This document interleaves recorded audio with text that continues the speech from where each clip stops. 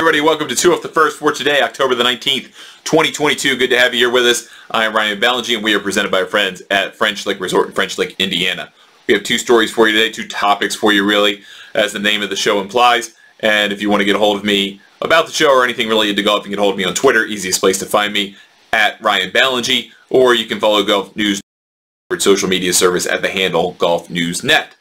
So we've got two things to kind of talk about today. A little bit of kind of expounding upon yesterday's show to a degree, so hopefully you got a chance to listen to that. Thank you for the support uh, on the video side, also on golfnewsnet.com, as well as uh, through your podcasting services and audio ways that you're listening to us. It's, it's really great. Uh, I really appreciate it. So building upon yesterday's story about the four rotating elevated events on the PGA Tour schedule, I think we have to kind of get into what is the natural follow-up to that subject of what happens to the rest of the PGA Tour schedule that isn't elevated. Because it, let's take the elevated events that we have. There are going to be 17 of them. So you're going to have the four majors, the three FedEx Cup playoff events, the players, the three special invitationals, Tigers, Arnies, and Jacks. You're going to have the WGC Dell Technologies match play. And then you're going to have four tournaments that rotate every year. And for 2023, based on reporting from Eamon Lynch at Golf Week, those tournaments are the Travelers Championship, the Phoenix Open, the Heritage, and the Wells Fargo Championship. So that's 17 events on the schedule. Well, on the PGA Tour schedule, there are 47 tournaments. Now you have a whole bunch of opposite field events, right? You've got those that are opposite the, either the Open Championship or the WGC or the Arnold Palmer Invitational. So you've got Puerto Rico, you've got Kentucky, you've got Tahoe.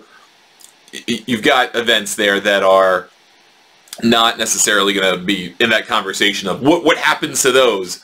And then we also have to kind of throw out about nine tournaments that are the current fall schedule. Now, we don't know what the, the fall is going to look like come 2023 entirely, but we know that those tournaments that are going to be in that portion of the schedule are going to not be events that earn FedEx Cup points. They're not going to be events that really probably attract top players whatsoever. Uh, most of those players are probably going to consider going to play either on the DP World Tour if they have that kind of membership and they want to go chase the DP World Tour points title and, and the money that comes with that. They could just take it off. They may play one event or, or two just to kind of keep fresh. But by and large, those events aren't going to have really strong fields. You're, you're not going to see a whole lot of top 50 players competing because those events are going to become effectively a very long Q school, a very long FedEx Cup playoffs for players that need to keep status, that aren't in the top 70, that didn't qualify for the playoffs, which have now shrunk this year from 125 getting in to 70 getting in, going 70, 50, 30 instead of 125, 70, 30. So that's what the fall is going to become. So those those tournaments aren't going to be elevated, whatever number of them there are. But there are nine of them now. They're going to go go away. Now we could talk about that, and we should talk about what happens to something like the CJ Cup and what happens to something like the Zozo Championship. Do those tournaments get put back into place elsewhere? Do they go away? What happens with that?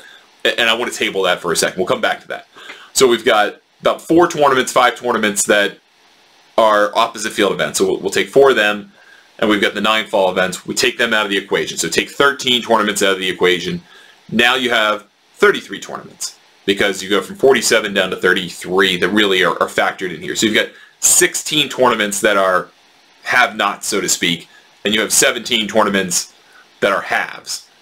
That doesn't sound as bad as it once did, right? When you, when you said, hey, we've got 17 elevated events and we've got 47 total events, now you have 30 that don't fit. Well, you throw out the 13 14 that really don't matter uh, to this discussion because they're not attracting top players anyway.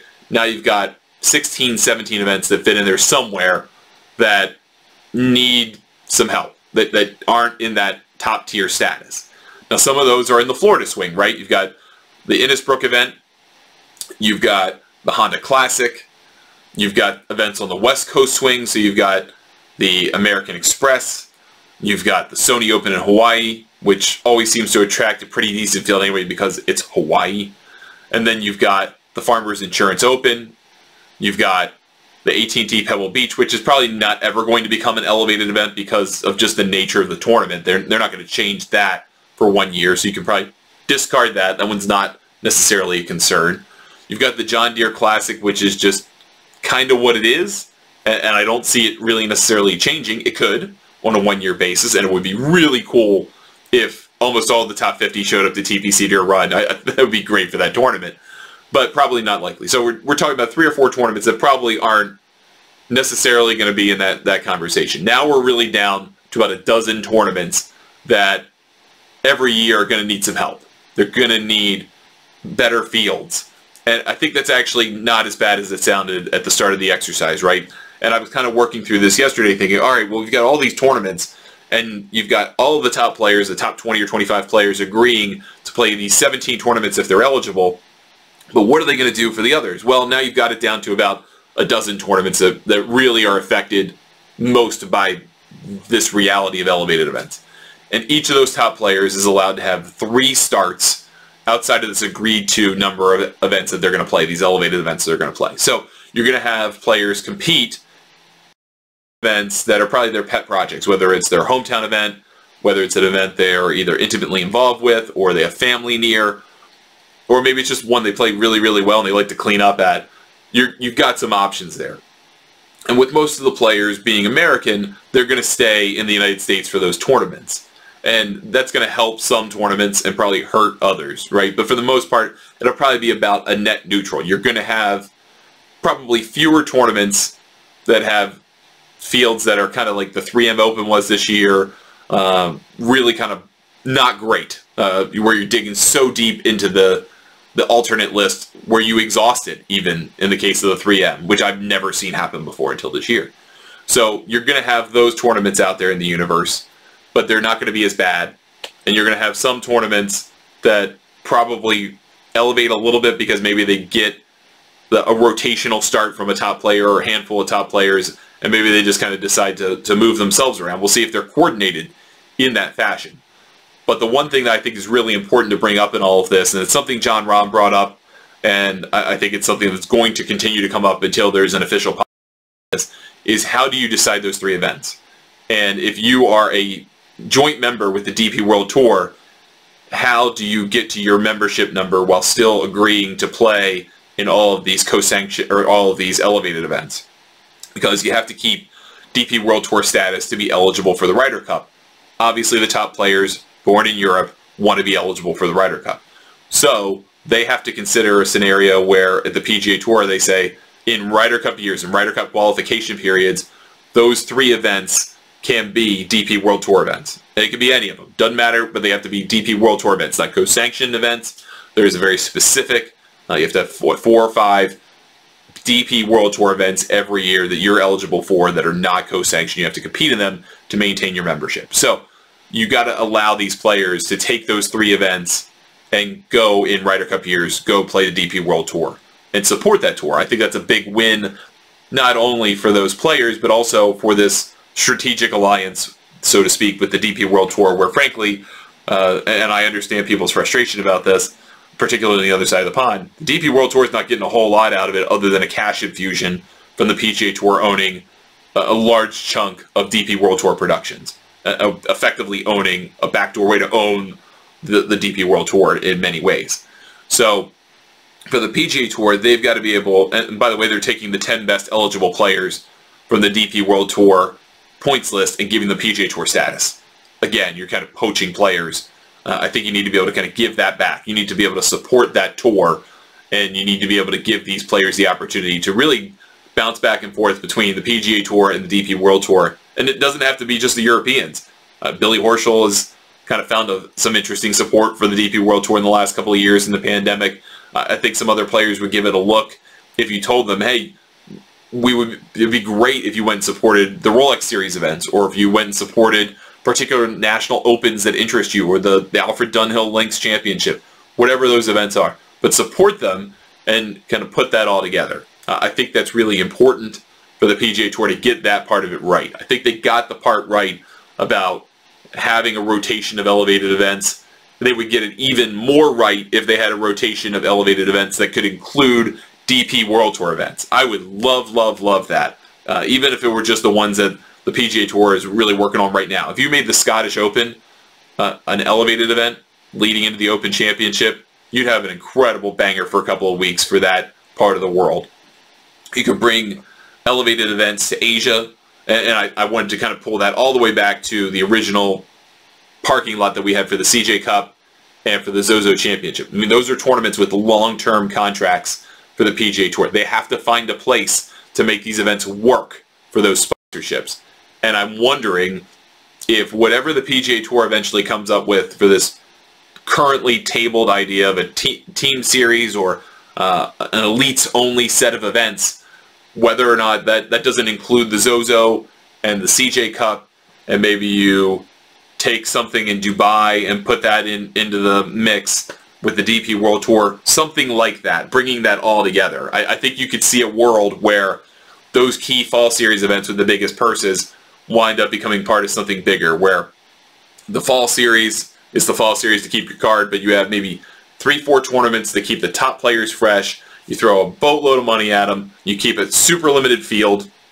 Maybe they're not even official World Golf ranking events. You know, they, don't even have points if if you wanted to go that way because you're, you're hurt now because you don't have as many players in field. So limited field events are actually hurt. I think that's the case to not change the field sizes for the elevated events that are rotating. But if you take some of these events like the CJ Cup, like the Zozo, maybe Nedbank, I, I don't know, but whoever you can kind of get involved and agree to it and make that a four event series in the and just let players compete. Give them a, a, an access to an enormous pool of money, you know, $100 million basically, 80 to $100 million, and you let them go play around the world. Uh, people in the United States are not paying as much attention to golf. We, we works even after the last couple of years. This year has been a real reversion back to the way fall used to be perceived as frankly not worth a lot of people's time. So you can take these events around the world. It's not going to necessarily hurt what you would have gotten on TV. You can take the game other places. You can kind of plant your flag where you need to. I think that makes a whole lot of sense. Will that happen? I don't know. I don't have any intel that tells me that. But that those are two clear tournaments that need a home once the fall series becomes the fall series again. And there isn't a whole lot of room on the PGA Tour schedule for an Asia swing. So I don't see how they bring that into the fold very effectively. They're going to have to push that out to a series of events that are operating the fall against or concurrent with what the new fall series is going to be. I think that could be really compelling and interesting. Also, just enough amount of you know team golf, individual golf. If you did that, where it would be interesting but not overkill. Um, that that's kind of how I see it. I, and I realize that there would probably be some copying of LIV to a degree, and that have to acknowledge that. But I, I think that's where you're going. So you don't really necessarily have huge problems with these three events that float for the top players. You've got about a dozen events to pick from that'll probably matter to that question mark. But you've got these events in the fall you're taking out of the equation. You've got a couple you got to got to really preserve because they're good paydays for players. Um, I mean, the, the, the purse this week for the CJ Open is ten and a half million dollars. It was eleven million last week in Japan. There's no reason to just kick those tournaments to the curb when they're good, high-paying opportunities for players. If that means shrinking the field and getting a guarantee that you have top players involved, okay, we'll see what happens there. But I, I think there's probably more to come on that. Just just guessing. Don't know that for sure. All right, so what about Congaree? We've got Congaree as our kind of second story. It's a little bit of a mystery this week. It hosts the, the CJ Cup in South Carolina. It, it's kind of become the de facto one-off host for the PGA Tour, and this has been a vagabond event, the, the CJ Cup. After a couple, what, three years they had in South Korea at Nine Bridges, you had Justin Thomas win a couple of times, you had Brooks Koepka win them, and then you had a move to the United States forced by the pandemic. You had two years in Las Vegas, one in Shadow Creek, one at the Summit, so you had what Jason Kokrak win, and you had uh, Rory McIlroy win last year, and then they, they didn't identify the West Coast venue for this year, so they, I guess, scrambled and went to Congaree and said, hey, we need you, and they said yes. And Congaree, which is in Ridgeland, South Carolina, it's, it's not that far from Parris Island, uh, where the United States Marine trains uh, its recruits, and it's not that far from Savannah and Hilton Head Island. But I think Congaree is trying to angle for a, a bigger event. They're trying to angle for something they can have annually, and doing this, they, they think that maybe it's a way of doing that. I think the players are going to really like this golf course. It sounds like so far the feedback is that they do. Jordan Spieth came on uh, the press conference, press conference room yesterday, said he arrived on site, I guess, on Monday and played. He said never seen the club before and really, really liked it. I mean, it is one of the longer courses on the PGA Tour. Third longest they're going to play this season behind Torrey South and Corales Golf Club, which is in the Dominican Republic. So this is going to be the second longest golf course star players are going to see this year, probably. So, or for this season, I should say. And the, for Spieth to say really likes the golf club, I mean, it's a, it's a great endorsement. JT Poston, I, I understand, is a member. I'm sure there are probably a couple South Carolina-based players that, that are members at, at Congaree, or as they say, they're ambassadors, they're not members uh, for Congaree but the, the interest level in this Fazio design is seems to be high. And I, I, think one of the unique characteristics of it is something Spieth talked about in news conference in that you, when you play a golf course, you kind of expect a certain look and feel flow to the golf course. You expect one hole to, to the next, to look like the next, to kind of lead you on a linked journey of 18 holes. And Congaree is not like that. There are a lot of holes that are just kind of unto themselves and, and there's an inspiration from the Sandbelt of Australia, a little bit of Links inspiration, a little bit of Heathland inspiration from the UK, and then obviously Low Country, because that's where they are in South Carolina. All of this together to create a golf course uh, uh that is 7,600 some odd yards from the tips, has a mixture of really long par fours, a couple short ones, some medium to long par threes, some really long par fives, and so the distance is there. You've got kind of trees that shape a lot of holes, but you also have a lot of decisions you can make because there's not a lot of rough. There's not going to be a whole ton of chipping from deep grass. That just doesn't exist on this property. But there are greens that are pretty tricky, and they're going to run pretty firm and fast. So this is a golf course, I think, that is a really good one. And so far the players seem to like it. Now, there always kind of has to be a level of... Uh, not skept, yeah, I guess skepticism about players really liking a golf course. And one, that's because PGA Tour players kind of have certain expectations for golf courses. They expect them to be pristine. They expect them to kind of work in their favor, and, and they don't like golf courses that befuddle them. They don't like golf courses that don't leave it out there in front of them. I mean, there are some that do, but by and large, the vocal ones love the golf courses that you see it from the tee, you see it revealed to you, you know what you have to do, there aren't mysteries and surprises, uh, and you can kind of play a clear strategy on every hole. They like, and and it seems like you have a lot of options at Congaree about how you want to play the golf course, whether you're a longer hitter, uh, a shorter hitter, not a short hitter, but a shorter hitter, and how you prefer to play your short game. So I think we're going to see a whole lot of different types of golf this week. You're probably going to see some low scores. I'm guessing we're going to see a 15, 16 under winning score this week. Uh, I don't know if there's a, I know there's props for that, but I don't know what the over-under is for that in the betting market. Uh, if you're interested in that, we'll talk about that on the press right after we, we record this, our golf betting podcast. But I, I, really like that they have this venue here in Congaree, and I have a feeling they're going to try to put something together that, that's longer term at this venue. Again, not sure what that is, and, and really not sure where on the schedule it's going to move to, but I, I think they're angling for that, or they're angling for a day where they could be a home to like a PGA championship which seems to be thinking about moving around to a variety of different courses now that they're in May. This could be a venue that could work for them, but again, you got to get logistics and all that stuff right. But you could do it; it could be done. And it feels like Congaree, which does have this mission of trying to expose more people to golf, even outside of its membership, by bringing in uh, a diverse set of people to be able to practice and play at the facility, to be able to have diversity of people's membership, all that stuff and, and that this kind of ties in with that mission perhaps. And it, I think it's a solid venue. So I'm looking forward to watching it this week. Um, obviously, as I said, we, we know people aren't paying as much attention, but this is really the event of the fall. You have 30 of the world top 50 competing this week. Several players have said this is their only official PGA Tour start of the fall, and they're probably not going to compete after this in an official event unless Perhaps they're playing on the DP World Tour. Unlikely because they're going to be seen as poachers or hardly having played the whole season, but, but some will go and play. And then you're going to have players compete in the 20-man Hero World Challenge in December. Some will compete in that. A couple are going to play in the PNC Championship. Now the kind of the, the guys who are about 30 uh, are playing with their dads as part of that tournament. You got Tiger involved. That's kind of changed the nature of the, that event. But going forward next year, there just are. There's not going to be like this in the fall, at least unless this team concept manifests itself or this top elite player series manifests itself. And even then, that's going to go around the world. It's not going to probably be friendly to people in the United States time zones, on the main, in, at least in the lower 48. So uh, this is kind of a, a last of its breed, a fall event with a great field. The WGC HSBC Champions is gone. It is gone away.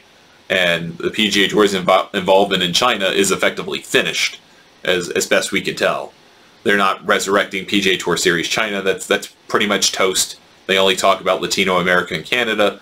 This event in China has gone away. So that is a change.